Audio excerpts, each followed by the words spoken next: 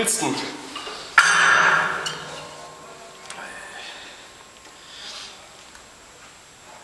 Stingray vs. The End.